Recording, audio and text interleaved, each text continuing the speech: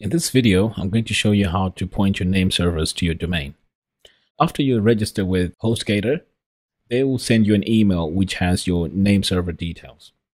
So I'm going to head over to hover.com, then log into my control panel, and I'm going to go straight to my domain name which I registered in the previous videos, which is this one. So what you want to do is to click on your domain, and then you can see here it says name servers, this is where we need to change the details. So we'll come across here to edit.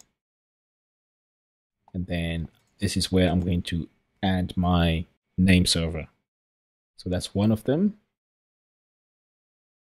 Then I'll click save. And please note, these two numbers are unique to you. So um, you have to make sure that you've got them correctly. Otherwise, you'll have problems setting up your website.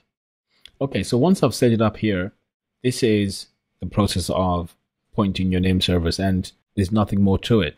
So after this stage, you won't need to come back and log into your Hover account because this is pretty much the most important stage, which is pointing the name servers. Okay, in the next video, I'll show you how to add a domain to your hosting account.